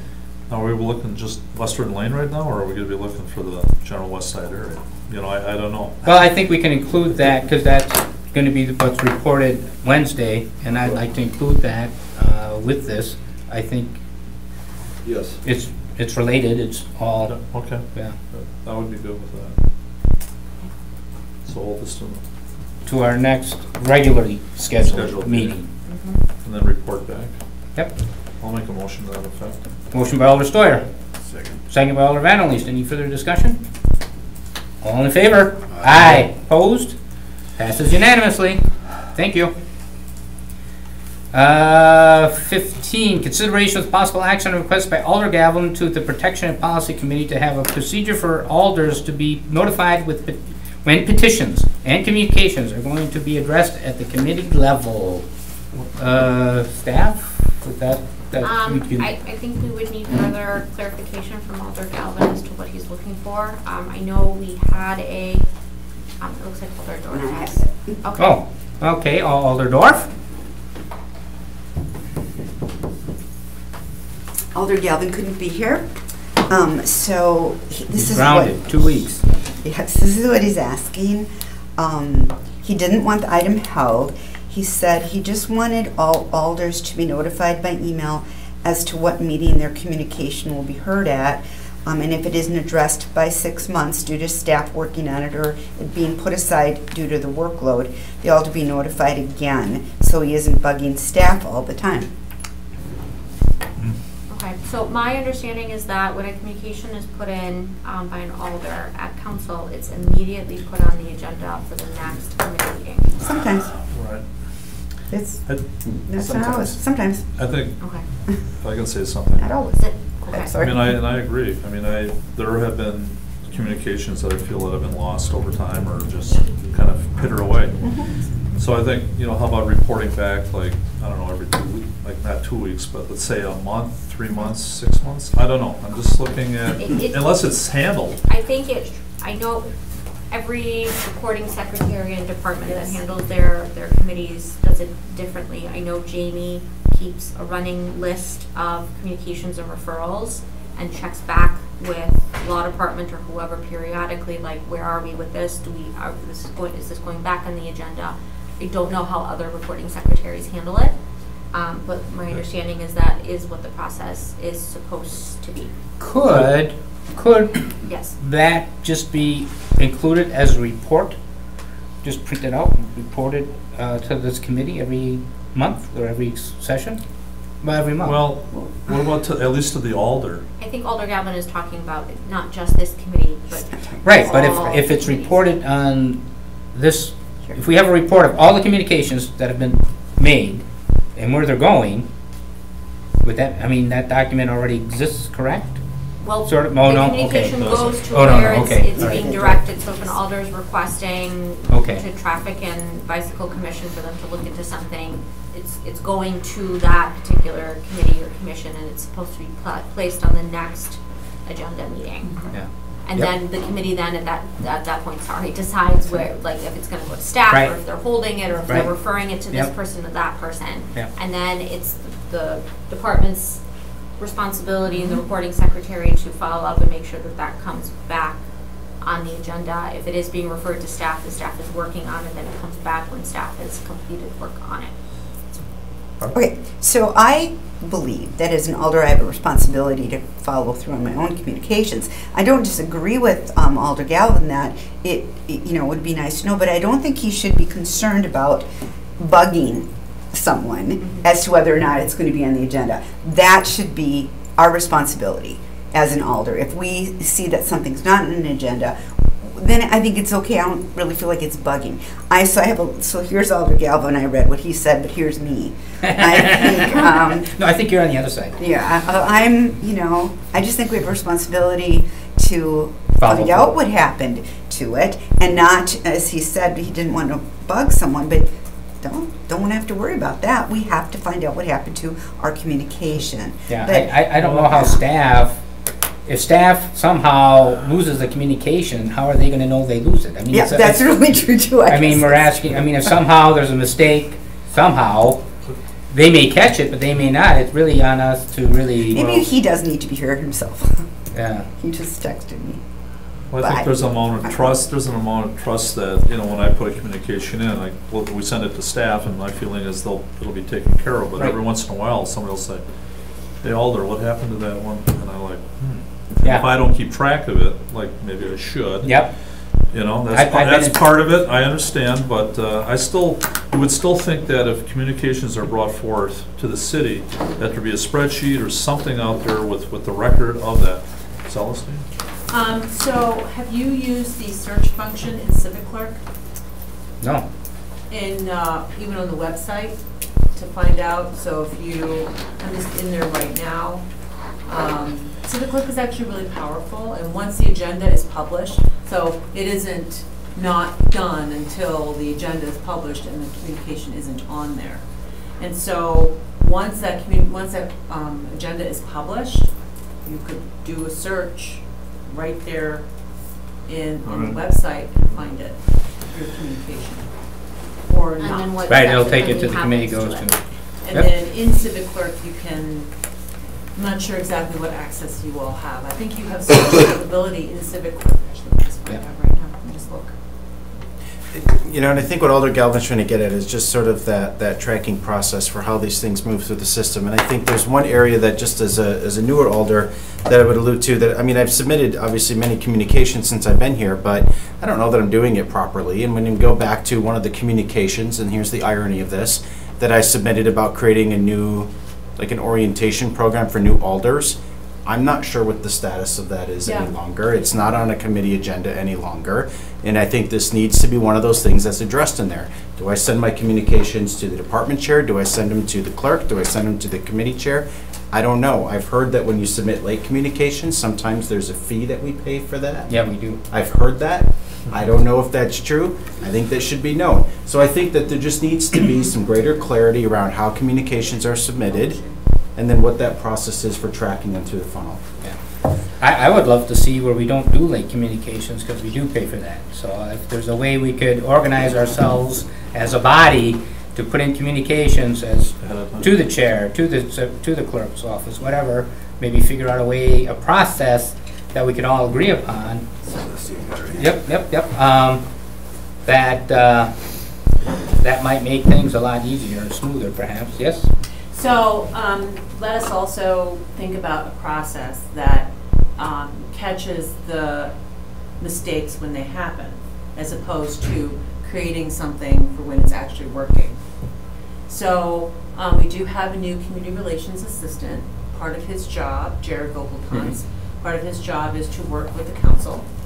And um, if there is an issue, so for instance, I know about your orientation um, communication, that That's in personnel. it's. I've it's spoken to Joe. Yeah, it's, it's they talked to me. being worked on, it's being created. So, but if you had a question about where that was, or, you know, it's something that um, Jared and I can work on in terms of hi- him actually tracking where things are, if things are taking a long time, then I can talk to him and talk to the mayor about reaching out to you to say, hey, by the way, we're still working on this, but it's taking a long time, or, you know, somehow it got lost in the ether, which it never does, but, um, sometimes what happens is it goes to, to the committee, and staff is working on it, and it just takes some time. But I also am hearing that there has been, there have been instances where communication was proffered and then it never appeared on a committee agenda. Or at least Well- not immediately. Well, but it did, like, but what defined, like, two meetings later, ten meetings Well, later? Depends on the Sometimes it chair. just The chair disappears. can decide if they, they don't want the Well, that's the communication other on. issue too. So, you- and you, we have no control over that, and that's what happens Mhm. sometimes. But does that sound like, so like I said, I encourage you to go into Civic Clerk and look in the website, and then I can talk to Jared, I guess I need to follow up with that too, here at this committee, but, um, I can talk to Jared and see what we can come up with. Could you comment, Celestine, on the, the fee for late communications? Yeah, that has to do with publication, I think. Yeah. There is a fee. Uh, what is the fee? I don't know, I don't know what the fee is, I can't recall. I mean, there are times we're all putting, you know, we all have done that, putting in late communications, and, you know, part of the reason, let's say I'll do it, and I know some of the others too, that to get it out there, people hear it, you know. Some people say, why don't you just talk to us, talk to the departments ahead of time and get that in. That's published inside the agenda, so at least you see it. So I don't, I don't know, some people like to state it at a meeting, so it's out there and people hear it and it's, it's uh, recorded as such. I don't know what you'd prefer. I mean, to me, you know, if we could just do all our communications ahead of time and just not have late communications, but sometimes things do come up, so, I don't know. I think it's a good point of discussion. I don't know. Are Should we just do it ahead of communications time? list- Are they listed? If you do, I, I mean, I've done them ahead of time, and they never show up anywhere. So that's kind of why I went back to doing Well, them at they're, meetings. I mean, in the agenda, they'll show, should be they'll show under there, right? communications. If you put in a It should. communication Right, tomorrow, it should be It in the agenda. yes. We're just talking mm-hmm. about whether we should Let me just pull that just up. do all early communications and Yeah, I think, I think early communications make more sense. And saves a little money. I should see what If we're it trying to save money, that's one half we can do it. Yep, I don't know. I guess I wasn't fully aware of that. yeah, every, every late communication costs. No. On, at- Well- at times, so people want to put in a late communication, something that's come up or whatever, I think that we should still be able to put in a communication. I- I Well, agree. certainly, you- you- you- But not But- to rely on that completely. not to rely on that. And, and, and what does it hurt to wait one day?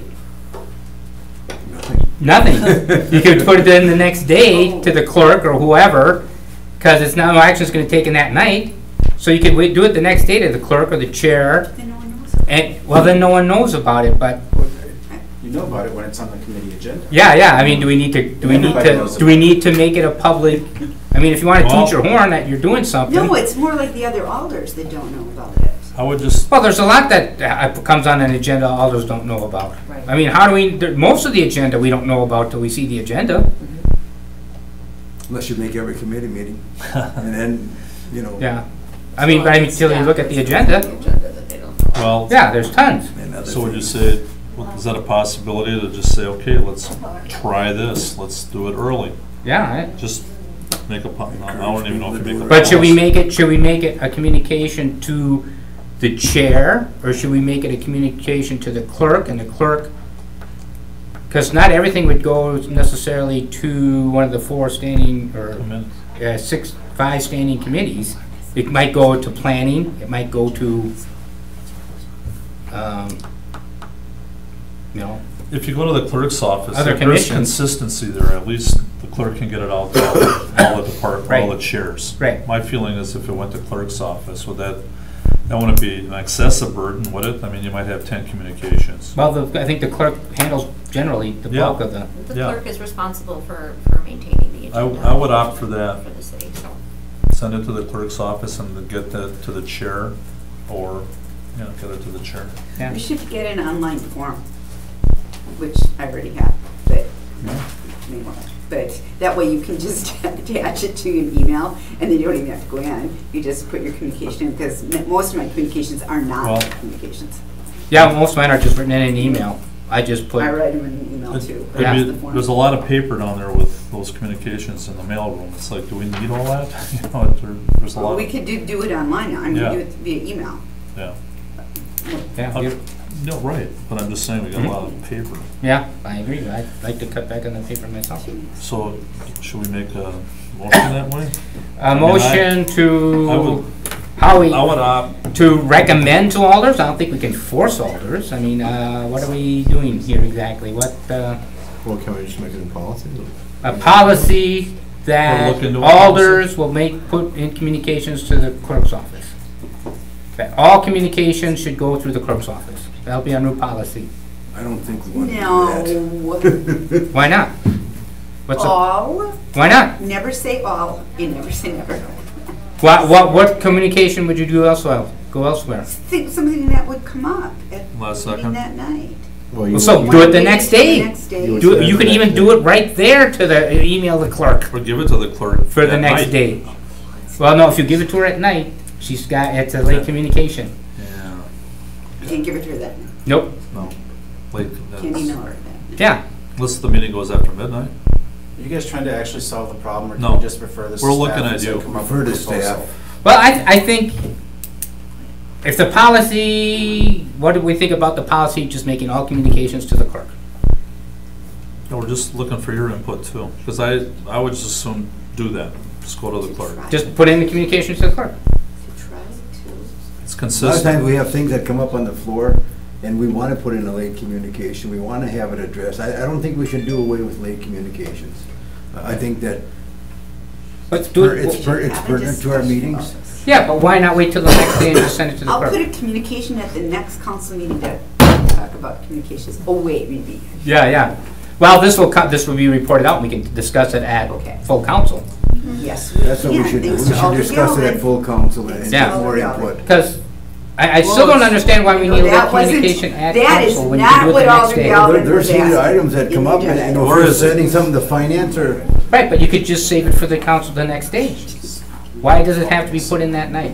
No. The next that's what we're day? gonna discuss. Yeah.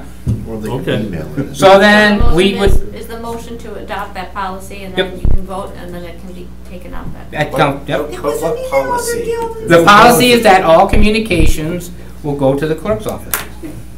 They do anyway. That's where they end up anyway. Eventually. The clerk is responsible for the, putting the agenda together. I feel like we're just creating a policy Yeah, for I- the sake of yeah, I creating do a policy too. now. I think this is just What do you too- really suggest? too sudden. I What do think you we should suggest? refer this to staff. I don't know that think we need to take anything out there. I think I threw some stuff out there that, hey, these are some things to consider, and these are, I feel some things where people get a little bit conflicted sometimes. Well, Right, but for a I, I think. I think to look at staff, to come up with a procedure to catch, I, I don't know, how, I don't even know how to say it. Um, Well, I, I think we should wait till Alder Galvin is really here, so we really, really, really know what he needs. Yeah, it's not time sensitive. Why don't we receive and place on file for right now, or, or Or hold it refer till- to the next meeting? hold it Let's till do Galvin that. can show. Even though he said you don't have to hold it, hold it, because I didn't represent him well, because I have the, I don't have the same point of view at all. Well, So, So. We can hold it, Got a if, motion, if- if receive and Alder place on wants to file? pull it, I think, Second, I'll second that, receive and place on file. I think we should Well, hold- determine how Or much I'll- this Well, that's costs. what, I was going on his, we should get all the Ask him on his information, motion. gather information. Vanderleest. We also need to know what late, what the cost is for late communication. Right, We need to know should, that, right? we need to gather information. well, she's told us that, I've forgotten. I think it's, I don't know, but we can certainly get that, yeah. Yeah, so- Chris will have So we'll hold this till our next scheduled meeting, and if we could get inf- uh, further information on, not only from Elder Galvin, but how much each late communication costs, That's all you want? I guess, and then we'll go from there, apparently. Uh, they don't wanna try testing the waters on a policy. Maybe we should leave, you guys can do whatever you want. Well, So the motion was made by, Hold ma- hold by Alder Stevens with, uh, getting added information of how much late communication is. second, And seconded by Alder Vanderleest. All in favor? Aye. Opposed? Okay, we're holding it. Tell Alder Galvin, we're gonna hold it. I will let him know, because I'm Yeah, gonna tell call him when I get out to the car. Alright. Okay, uh, we on to the next item? Is- Liquor violation report from the public departments, pl- I'm sorry, from the police department, oh boy, What'd you say? for June, I said public, from the police department for June tenth, twenty nineteen. Uh, We have nothing to report. Wow. Motion to receive. It's a safe community. Motion to receive and place on file by Alder uh, Vanderleest, seconded by Alder Stevens. All in favor? Aye. Aye. Opposed? That is received and placed on file. I believe, are we ready? Yes, we are. Motion to adjourn. Motion adjourned by Alder Steuer. Seconded by Alder Stevens. All in favor? Aye. Opposed? We are done, gentlemen. Thank you very much. I'm leaving the meeting. Now, make sure you Yeah, my power, yeah, I did. We left the meeting. leave the meeting. But she's, she's